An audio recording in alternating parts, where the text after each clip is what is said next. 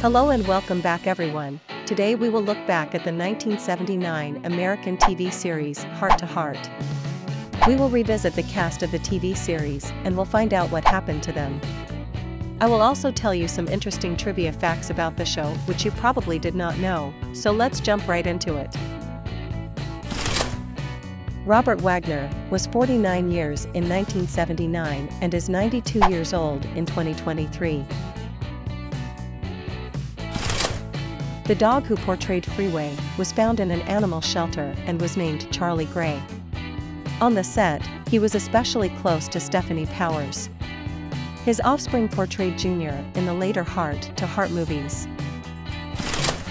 Stefanie Powers was 36 years in 1979 and is 80 years old in 2023.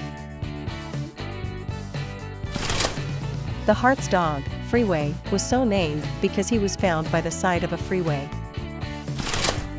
Lionel Stander died at the age of 86 years in 1994 from lung cancer. The Hart's Ranch-style house originally belonged to Dick Powell, an old friend of Robert Wagner, and was situated in Mandeville Canyon, Los Angeles, California. Lee Wilkof was 28 years in 1979 and is 71 years old in 2023. The last Hart to Hart movie aired on August 25, 1996, exactly 17 years to the date of the airing of the pilot. Mimi Maynard was 30 years in 1979 and is 74 years old in 2023.